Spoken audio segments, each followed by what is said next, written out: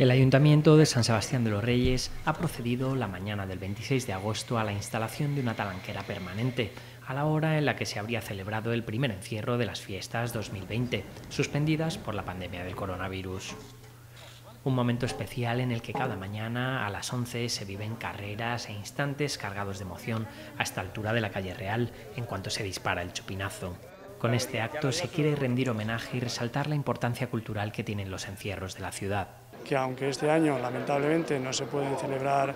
las fiestas en honor al Santísimo Cristo de los Remedios y por lo tanto este año no puede haber encierros, sin embargo los encierros y las fiestas siguen estando muy presentes en nuestros corazones. El vicealcalde, delegado de festejos, Miguel Ángel Martín Perdiguero, ha valorado esta iniciativa como la manera más eficaz de recordar a los corredores, a los talanqueros y a toda la gente que nos visita en estos días que suelen ser tan importantes para la ciudad. Un año muy complicado para todos los amantes